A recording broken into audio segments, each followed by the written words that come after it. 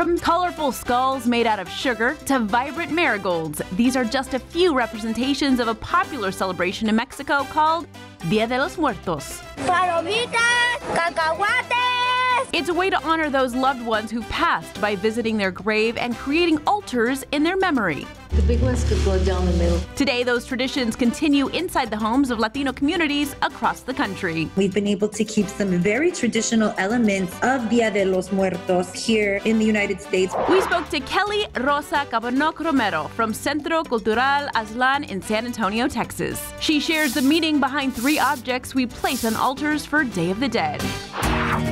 First, sugar skulls. Each little calaverita is supposed to signify someone that you've lost or someone that you want to remember. In a traditional altar, it's also important to name each one. Usually there will be like a piece of papel chino. It's like that shiny paper. And they would cut that out and you would put the name of the person who passed on the altar to represent them. Next, marigolds. When you're talking about the marigold, it's a cempasúchil, right? Um, which is a, a native word, an indigenous word. Day of the Dead dates back 3,000 years from Aztec traditions.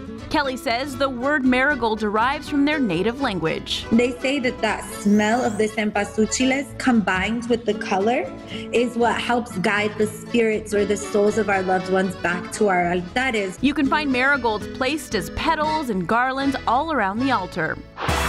Lastly, pan de muerto. It's traditionally like a round loaf like this, and then it has like an X over it. The X typically symbolizes the shape of bones and has a soft texture with a semi-sweet taste. You never eat from your altar, right? That is supposed to be for your ofrenda, your offering, and that nourishes their spirit while they're they're here visiting. Kelly says anyone can make an altar as a tribute to those who passed. I think people should come from a place of love and a place of wanting to remember their loved ones and a place of respect.